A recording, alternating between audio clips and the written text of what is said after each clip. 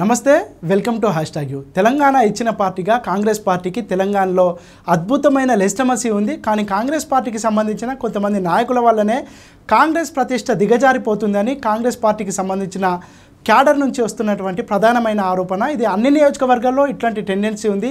ముఖ్యంగా టీపీసీసీ చీఫ్గా రేవంత్ రెడ్డి నియామకమైనప్పటి నుంచి పార్టీలో అంతర్గత ఘర్షణలు పార్టీలో కుమ్ములాట్లు మొదలయ్యాయి. ఇవి బహిరంగంగా విమర్శించుకునే స్థాయికి కూడా పెరిగిపోయినటువంటి పరిస్థితిని మనం చాలా రోజుల నుంచి చూస్తున్నాం. ఇక ఇది అన్ని నియోజకవర్గాల్లో ఉన్నప్పటికీ ప్రస్తుతం మనం కల్వకుర్తి నియోజకవర్గానికి సంబంధించిన విషయాన్ని మాట్లాడదాం. కల్వ కల్వకుర్తికి సంబంధించిన క్యాడరు అక్కడి కాంగ్రెస్ నేత వంశీచంద్ర రెడ్డిపై తీవ్రమైన ఆరోపణలు చేస్తున్నారు. అతను గతంలో రెండు వేల పద్నాలుగు ఎన్నికల్లో అక్కడి నుంచి పోటీ చేశాడు. మొదటిసారిగా పోటీ చేసిన అతను ఆ నియోజకవర్గం నుంచి గెలుపొంది కాంగ్రెస్ ఎమ్మెల్యేగా అసెంబ్లీలో అడుగుపెట్టారు. దాని తర్వాత జరిగినటువంటి ముందస్తు ఎన్నికల్లో వంశీచంద్రెడ్డి ఓడిపోయిన తర్వాత తర్వాత జరిగినటువంటి సాధారణ ఎన్నికల్లో కాంగ్రెస్ పార్టీ తరపున ఎంపీగా బరిలోకి దిగి ఓడిపోయారు. ఇక అప్పటి నుంచి కాంగ్రెస్ వంశీచంద్ర రెడ్డి నియోజకవర్గానికి దూరం అయిపోయాడు. కాంగ్రెస్ కార్యక్రమాల్లో కనబడట్లేదు. దాంతోపాటు అతని మకాంని కూడా ఇక్కడ నుంచి ఢిల్లీకి షిఫ్ట్ చేశాడు.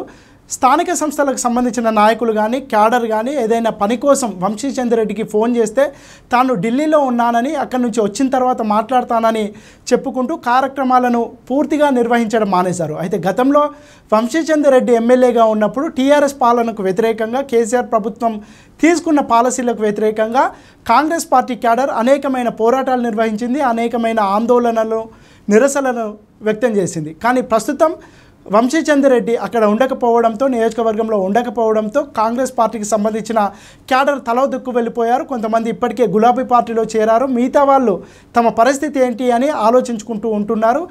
భవిష్యత్తులో మరోసారి ఎన్నికలు వచ్చేటప్పటికి తెలంగాణ అసెంబ్లీ ఎన్నికలు వచ్చేటప్పటికి అక్కడి క్యాడర్ కాంగ్రెస్కి సంబంధించిన క్యాడర్ పూర్తిగా వేరే పార్టీలోకి వెళ్ళిపోయే అవకాశం ఉంది.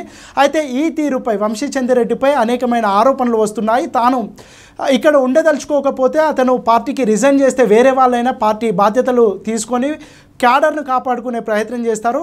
లేదంటే అతని నిర్వాహకం వల్ల క్యాడర్ పూర్తిగా పక్కకు జరిగిపోయే ప- పరిస్థితి ఉంది అనే ఆందోళన వ్యక్తం చేస్తున్నారు. ఒకవేళ కాంగ్రెస్ పార్టీ తరపున ఎవరైనా పోటీ చేయడానికి బలమైన అభ్యర్థి వచ్చినా దాదాపు క్యాడర్ కోసం వెతుక్కోవాల్సిన పరిస్థితిని వంశీచంద్ రెడ్డి సృష్టిస్తున్నాడు అనేది కూడా ప్రధానమైన ఆరోపణ. అయితే వంశీచంద్ర రెడ్డి ఇప్పటికే ఏఐసిసి సెక్రటరీగా ఉన్నాడు. అతను జాతీయ నాయకత్వంలో అంటే జాతీయ రాజకీయాలపై ఫోకస్ పెట్టాడు.